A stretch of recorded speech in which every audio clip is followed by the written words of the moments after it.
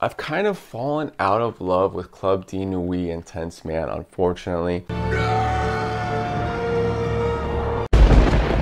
Hey, what's up guys, it's Josh here. Today I wanted to do a little re-review and comparison today on this Club de Nuit Intense Man and this Insurrection Pure 2 both these fragrances received a lot of hype in the fragrance community because they copy Creed Aventus. Pretty much one of the best fragrances ever. It just smells so good. You could wear it at any time. It garners unbelievable compliments. Just a fantastic fragrance. I've been doing a lot of testing with this. I probably wore each one of these fragrances for about three to four days, kind of going on an Aventus style run. I wrote up pros and cons to each of these fragrances. I'm to bang them out real quick. The two things I find that these have in common is that they borrow from the strength of Aventus. So Aventus is a compliment getter. It just smells so fresh and so good. And both these fragrances utilize that right here. And both these fragrances kind of have like a fleeting smell to them. So although they last for a decent amount of time, this one more than this one, you really don't smell it on yourself, which is a little bit weird. It kind of happens with certain fragrances, but I will find that most fragrances, I will smell little hints of myself down the line with this. Once you spray it, you spray it up a lot, you don't really smell that much on you at all. For this one is one of my highest compliment getters, so people are smelling you, you just don't smell it on you. So the two things they have in common is they're gonna borrow the compliment factor from Aventus, and they both have a fleeting smell, so you're gonna spray up, but you can't really smell it on yourself, although other people will smell you. Let's jump into the pros of Club de Nuit Intense Man. The pros, not too many pros, not too many cons, because again, they're utilizing the pros of Aventus, so it's like that's pretty much where the main strengths is gonna come from. The best one with this one is the compliments and the projection,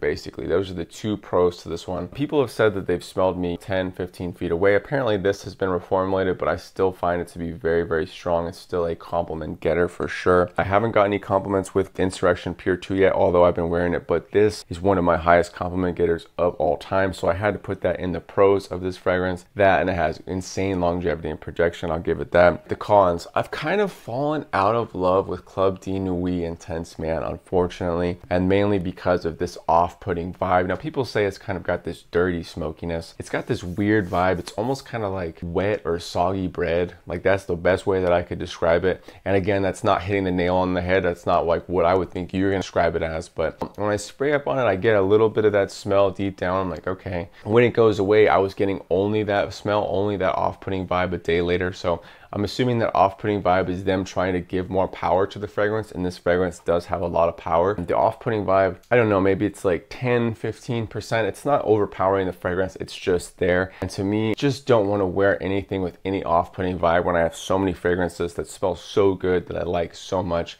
I'm just not really into that off-putting vibe. Not very many pros, not very many cons. That's the cons with Club Nuit Intense Man. On to Insurrection Pure 2. I kind of grazed over this fragrance. This fragrance has a lot of hype because it is an Aventus style fragrance, an Aventus style clone. Everyone seemed to prefer Club Nuit Intense Man to it when I got it. It just seemed kind of like a weaker version of Club Nuit Intense Man, maybe a little bit more smooth. Let's jump into the pros. After respraying it, this one is very smooth, very fresh, very clean. I would not say that this really smells smooth, fresh, or clean, although it does utilize the Aventus DNA. It just isn't smooth, fresh, or clean, which I appreciate this one. This one also utilizes the pineapple. I think the pineapple is one of the cornerstones that gives Aventus its unique style smell. And there's another fragrance called L'Aventure by Al Haramain, which actually might be my most recommended fragrance in the Creed Aventus line, but I haven't sprayed that fragrance in years when I got it. I got the full bottle, I sprayed through it, got a lot of compliments, but unfortunately I sprayed the whole bottle so I cannot test it again. But L'Aventure, the only problem I had with L'Aventure was that it had more of a lemon style note versus a pineapple style note. And it's amazing how much the pineapple really just really makes this fragrance. It really makes it unique. Not very many fragrances utilize pineapple. A lot of fragrances utilize lemon. I do appreciate the pineapple in this one. That's the pros. Now the cons is that I haven't received any compliments yet, although I do think this will garner compliments because it smells like Creed Aventus. I have not got any compliments with it yet. And it seems to not be that strong of a projector. I've been trying these out as much as I can. And like I said, they're both fleeting fragrances. So it's really hard for me to tell how long it's lasting or who can smell what on me. I can't really compliment on that. But so far, I'm just really enjoying the pros of this, that it smells so fresh and so clean, although it does not last as long. Full transparency has not given me a compliment yet. In conclusion, you probably want me to say, hey, you gotta buy this because this is the best one. I'm just kind of being honest with you guys.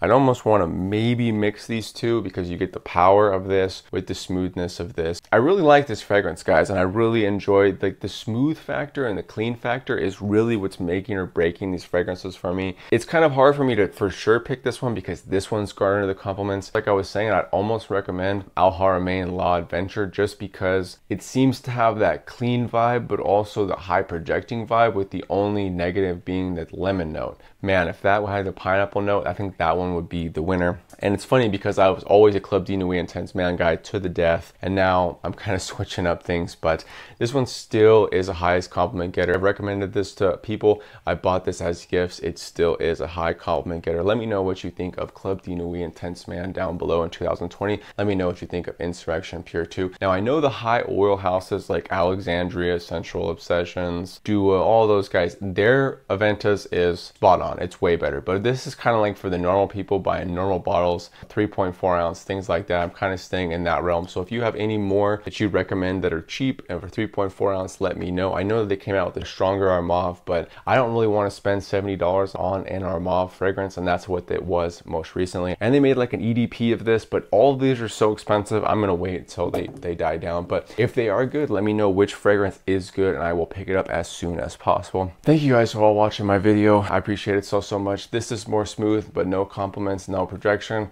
This one's really rough, off-putting vibe, lots of compliments, lots of projection. That's the simple answer. But we're on the road to 25,000 subscribers and I couldn't do it without any of you guys' help. You guys are the best. I'm having a great day out here. Hopefully having a great day at home. See you all in the next video. Peace.